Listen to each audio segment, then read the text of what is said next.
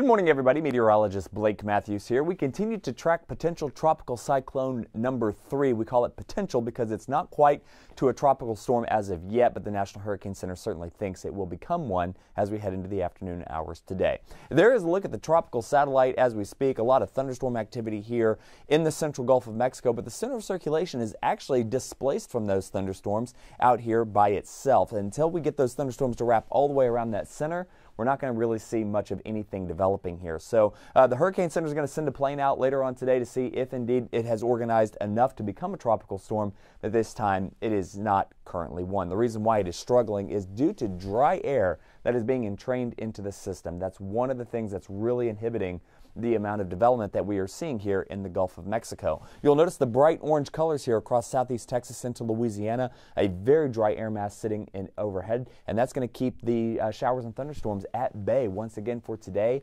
and heading into your Saturday. So a couple of dry days ahead as we head into the upcoming weekend. The other thing that is stopping development, uh, development from really taking off here in the Gulf of Mexico, see these reds here? These are the upper level winds that are ripping across the Gulf right now, and that is high wind shear, and it's pushing all those thunderstorms away from that center of circulation. And again, until we can see those thunderstorms wrap all the way around the center, we're not going to see the storm really develop much at all. So here's the latest information that we have from the Hurricane Center as of 8 o'clock. Once this officially becomes a tropical depression or a tropical storm, we will start getting updates every three hours. But until then, this is what we have. Winds right around 35 miles an hour, moving to the north at 14.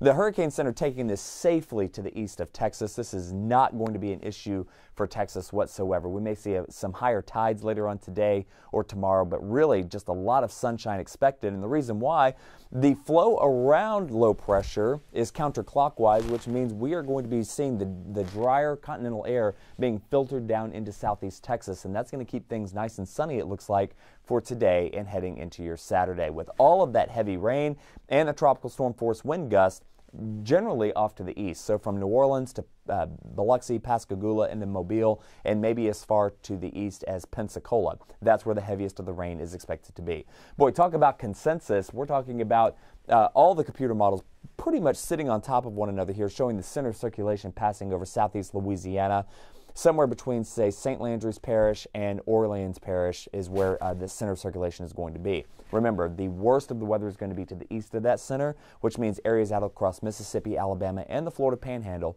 will see the worst weather. The proof is in the pudding. Look at all the showers and thunderstorms to the east of the center. As we put this into motion, look how all that rain is heading up towards Mississippi and Alabama and southeast Louisiana as we head into the wee hours of the morning here on Saturday.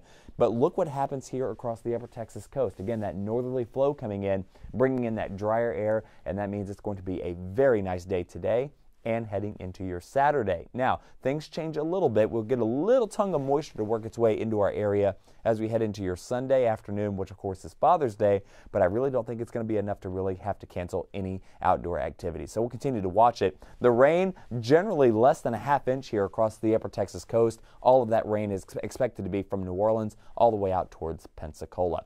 So let's take a look here at some of the watches. Obviously, a lot of flood watches from Atlanta to Montgomery, all the way down to Mobile, Panama City, Pensacola, New Orleans. And what you see here in this blue shading is that tropical storm warning. It's just some gusty winds. We're talking 35 to 40 mile an hour wind gust, not sustained uh, there along the immediate coast. So this is not a wind event. It's not a surge event, but it is certainly a rain event as some areas could pick up over a foot of rain across portions of Mississippi and Alabama. Uh, once again, the impacts along the upper Texas coast will be zero. In fact, we're looking at improving conditions today and heading into your Saturday, so certainly enjoy the sunshine while we have it and rain-free days. That's the very latest information we have on potential tropical cyclone number three. We'll have another update coming up today beginning on the noon show uh, here in a couple hours.